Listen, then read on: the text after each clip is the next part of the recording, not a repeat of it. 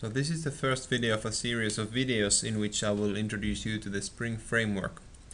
And this video we will just have a look at the basic components that the Spring Framework is uh, or Spring Framework applications are based on, which are beans and how to wire them manually together, so how to connect them together.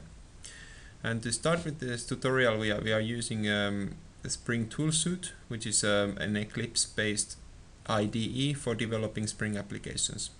There are many um, project wizards in this application. Um, for example, uh, if you open a new project, you can see the Spring category, and there are many um, things here. We'll just um, Spring project for now.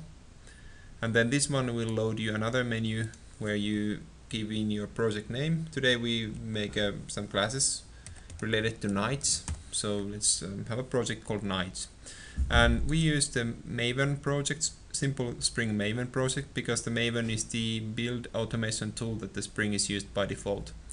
There's also another tool called Gradle that you can use, and that Gradle uh, must be installed as a plugin or extension in order to use it. But by default, Maven is the default. So let's create a new project.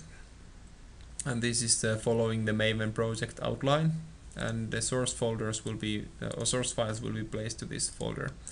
And we create a new interface first called knight and um, when you develop Spring applications you should always think about interfaces because that makes your application more modular. So for example you have an interface and then you can create alternative implementations of the interface and keep swapping them as you need Therefore, you, as long as your interface stays the same, you can just modify the implementation of your application quite conveniently. Anyway, the knight interface is doing one thing. It's embarking on a quest. And then let's create a knight that implements that interface, brave knight.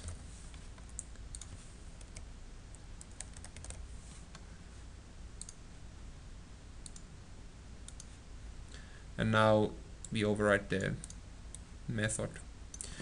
And here we just do a system out println to see that it actually works. So we just say embarking on a quest. So this is so far just plain old java object or pojo. And in order to make a bean out of it we will configure it in a, conf a spring configuration file so we make another class called config. Of course, the class name can be anything you want, but we just use config so it refers to the purpose of the file. And to make it the configuration file, we use the configuration annotation, which is one of the Spring's annotations. So a lot of Spring programming is actually about writing annotations. So you'll see a lot of them during these videos that I'm going to show you. So now this is a configuration file and in order to define a bean here we use the bean annotation. It's another annotation of the Spring Framework and the bean annotation is defining a new bean. And to define a new bean we can uh, for example create a, a method that returns a knight. The method name can be anything but later on when we try to access the bean we can use the method name as a um, kind of identification for that bean and this knight is simply returning a new brave knight. so this is where we actually create a new instance but it will be mapped to an interface type later on if we need to use another instance we just replace this brave knight with another knight type and it can be used as a bean. Okay, so now we have a bean, Brave Knight, and now uh, we create a simple standalone application that will actually get that knight and then initialize it and call the method. So let's call it the test app. It will have a main method. And now in the main method, one thing we need to do in order to make this a Spring app is to load that configuration file that we just made. So this configuration file that could have more beans than one, this must be loaded into the Spring container and then the Spring container will manage all the beans that we define here. and we can get those beans from the container using that um, configuration file. So there are many ways to load the configuration file. Um, when we use an, a Java-based configuration like this, we use a certain method. When we use an XML-based configuration, we use another method. But this is a Java-based config, so we use something called annotation config application context. It's a horrible name for a class. It's a very long. Just call it context for short. The context will contain access to the container, so we can get beans through that object. Um, we just create a new annotation config application context. And this one takes the configuration file name as the parameter, or actually not the file name, but the, the class type. And now it will try to load this configuration file, and if it's successful, this object can be used to access beans. So to get the bean from the context, we simply write knight equals not not new knight or not new brave knight, but context get bean. Now there are different overloaded versions. Um, one that requires uh, that uh, returns the class type um, is this one. Not config. Sorry about that. We will use, of course, the knight type. Notice that I'm using the interface type. Interface type here. There is nothing about the knight implementation.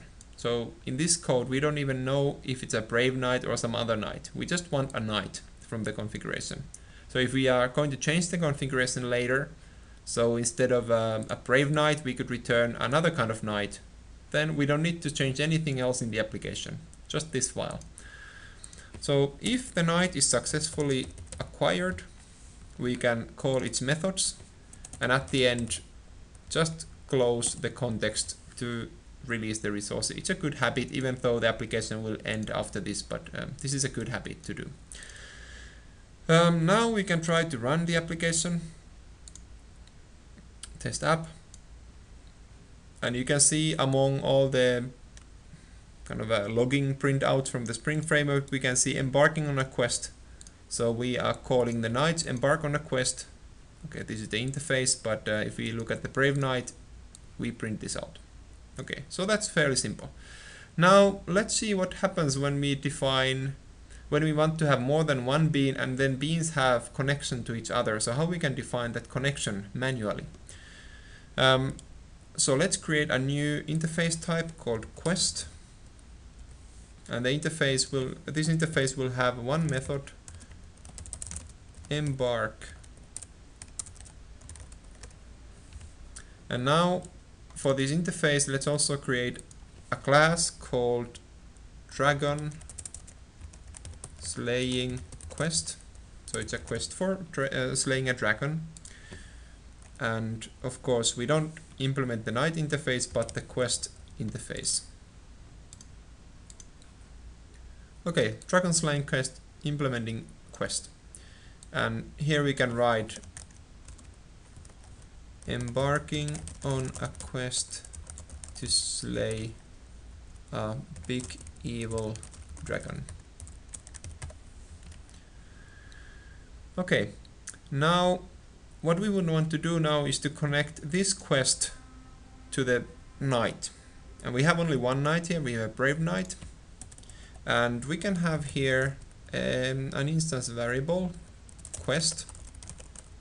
Again, I'm using the interface type, not the actual dragon slaying quest, because later on we can use another quest for this knight.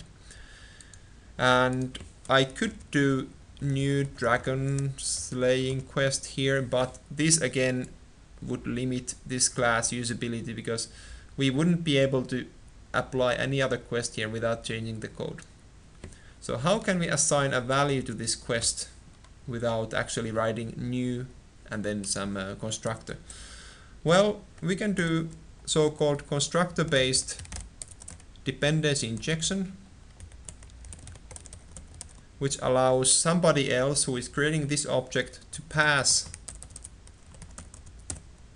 um, quest object that will be saved to this instance variable. And this way, whoever is creating this object can call this constructor and passing whatever quest they want.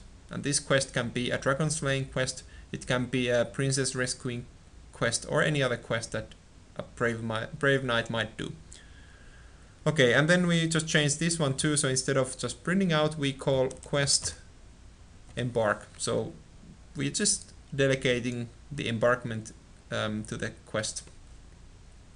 Alright, so now the question is how can we assign or how can we initialize Brave Knight so that we can pass a quest here?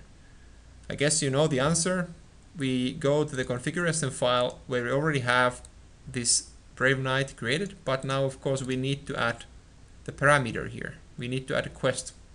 So how do we get the quest? It's simple, we define another bean, public, not um, not knight, but the quest, get quest, and this will return a new dragon slaying quest.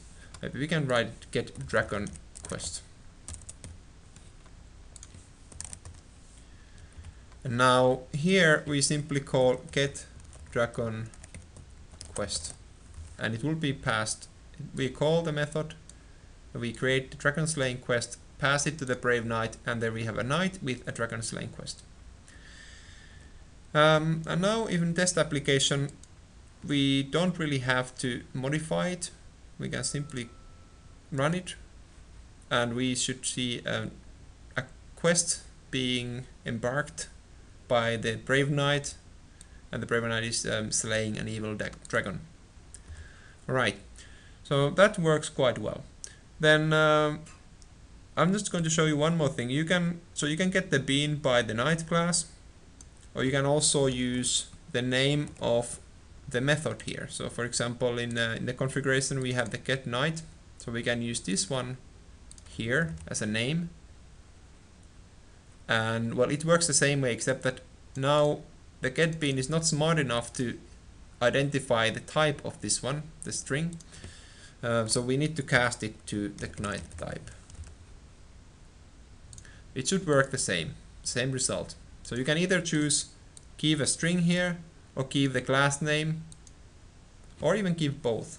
So you can also have the string and then knight.class and in this case you don't need this one because it, you already defined the type here. So you can choose. There are many options you can use.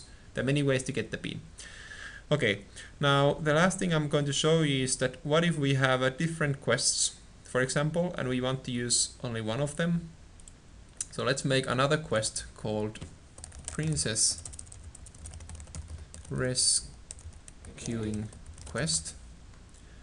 And this would also implement the quest interface and just print out embarking on a quest to rescue a princess. Okay, let's add their beautiful princess to make it more meaningful. Right, now this princess rescuing quest could also be um, defined here. So we could either replace this one with the princess rescuing quest, but if we want to use both beans in our application, we should add another bean here, which also returns um, a, a quest. And just different name, and returning new uh, princess rescuing quest. Alright, so now when we want to use the beans, we can either choose this one or this one. So for example, um, the get knight would return a knight. Um, and here get dragon quest will return a dragon quest of course but we want to change it to a princess quest so we can just call this method instead. And if for some reason okay well let's just run it first. So now we have a, a princess quest for the brave knight. So we can run it here. Now the knight is rescuing a princess without changing this code at all. Same code we only changed the configuration so we can play a lot of things with the configuration. We can change the way application behaves just by editing the configuration bit. And now um, If, if for some reason we would want to get this dragon quest or the princess quest in the test app, we can also do that of course. So we can call a quest and again context we can get the bean so here if we write quest.class this could be a problem because now we have in the configuration file we have two methods that return the quest. So Spring will have a little bit hard time figuring out which one to return. So if we run it it's trying to get the quest let's run it you get an exception. There is no qualifying bean type, blah, blah, blah. Uh, expecting one bean, but, but found two. So it's found two beans instead of one. So the problem here is that it cannot distinguish between these two. The easiest way to solve it is to add here this kind of a string. So instead of instead of get knight, we have get what was the method name? So for example, get princess quest, this one like that. And now it will be just Princess Quest without the um, other Dragon Quest. Now it works fine. Of course, we, we don't use this quest here in this program just to show that how it works. So that's um, how you define beans in Spring Framework and how you manually wire them together. The next video I will show you how we can do auto wiring so we don't need to do the configuration stuff basically this stuff. We don't even need to write these beans here. We can do automatic auto wiring so called. Um, so wiring automatically. So thanks for watching.